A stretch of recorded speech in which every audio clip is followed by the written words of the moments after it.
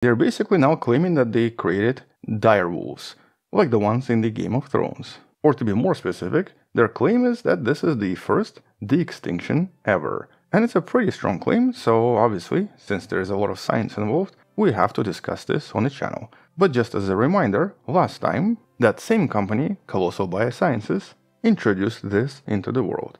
This was the so-called woolly mice, basically a mouse containing genes that the researchers from Colossal were claiming came from a mammoth. Now you can learn more about this in one of the videos in the description, but the point here was that they were essentially trying to find techniques to make de-extinction possible.